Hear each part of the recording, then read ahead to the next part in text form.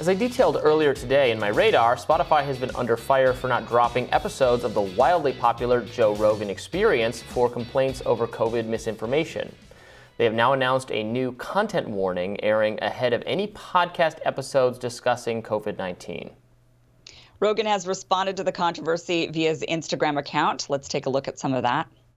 I wanted to make this video, first of all, because I think there's a lot of people that have a distorted perception of what I do, maybe based on sound bites or based on headlines of articles that are disparaging.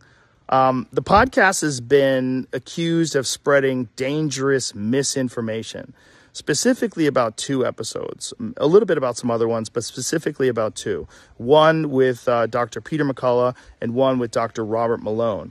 Dr. Peter McCullough is a cardiologist, and he is the most published physician in his field in history.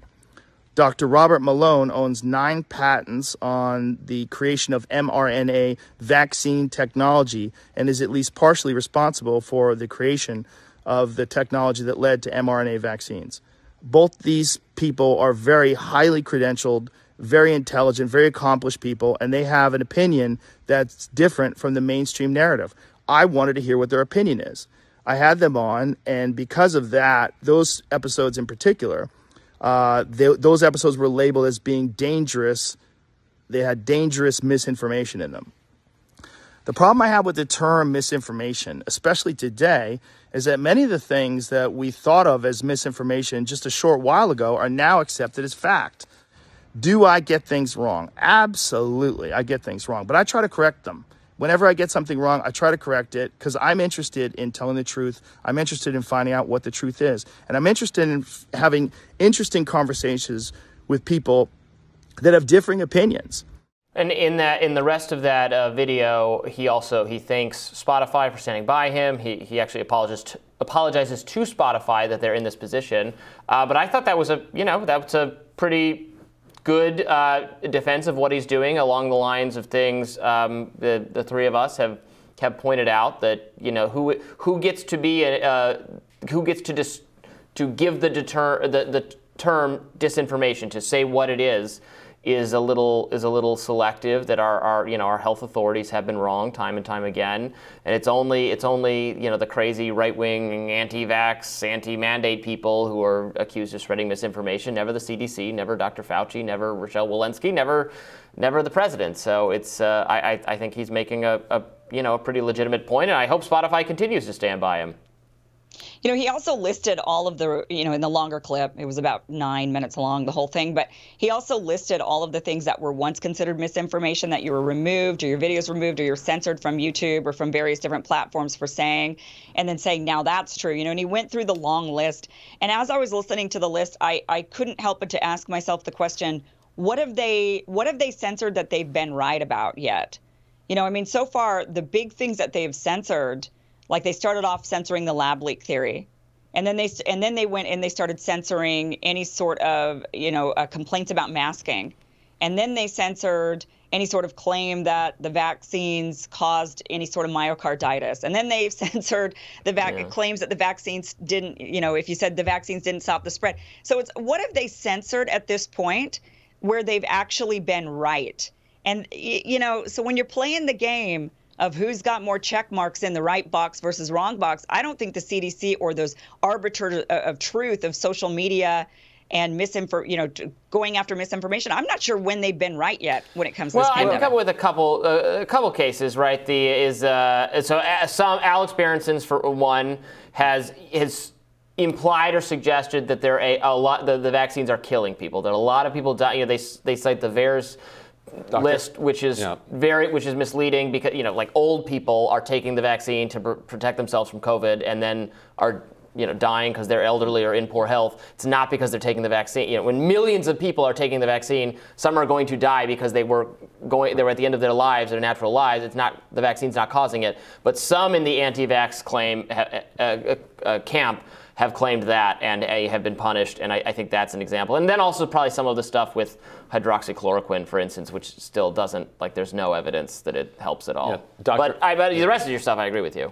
Dr. McCullough backed that up. He's, he went on to Alex Jones's show on Infowars and said that there had been 180,000 people who yeah. had died uh, as a result of the vaccine and, and, pointing to this pointing to this study. I heard him speak at an event. I, I you know, I heard him re- repeat these. Right. It's different from saying the vaccine's not working well enough. It's not, you know, stopping transmission enough. It's not all that all that stuff. Yes, but the, the it's not it's not killing right. thousands right. of people. so you're right. So there is a, a ballpark of yeah. stuff where they have gotten things wild, wildly yeah. wrong. Um, so I, the, speaking of the, the kind of liberal pressure on Spotify here, you know, this, this weekend I ticked a bunch of people off by saying, by, by pointing out that there has been a campaign over the last five years, maybe, you know, uh, heightening over the last couple of years to really pressure people on the center left and the left not to go on the Rogan show. You know, don't legitimize the mm-hmm. uh, Joe, Joe Rogan's show. And in that, is a point that Krystal Ball had made previously in one of her radars a few months ago.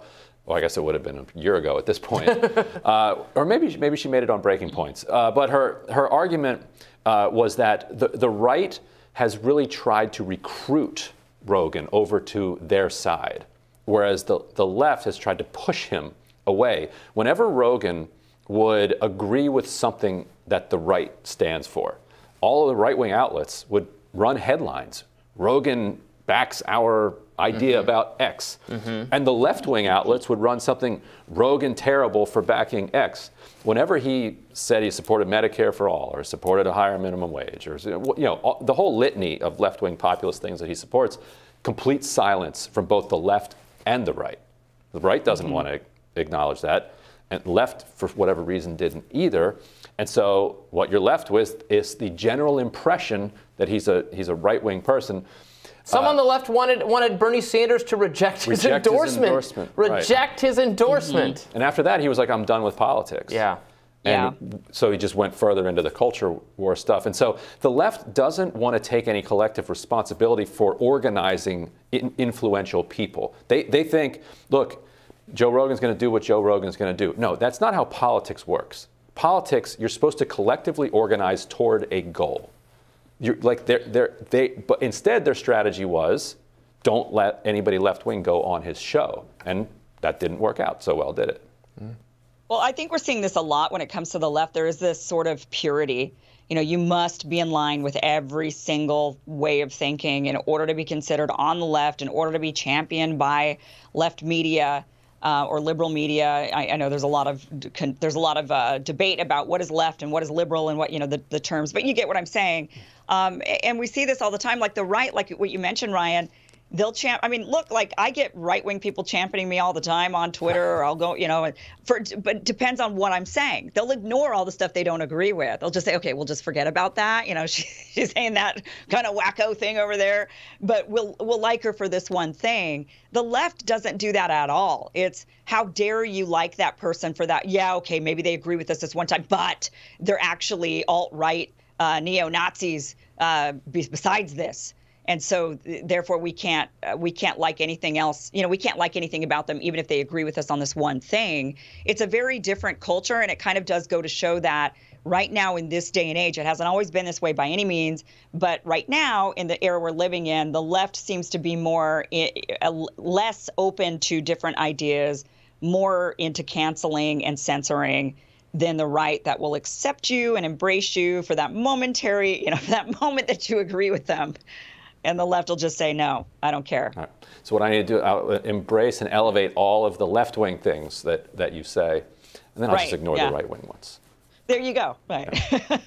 do it that way. Otherwise, you create this, this feedback eco- ecosystem loop that, yeah. that winds up with hmm? Rogan talking just to Malone, and then he follows that up with Jordan Peterson just, just as a thumb in the eye.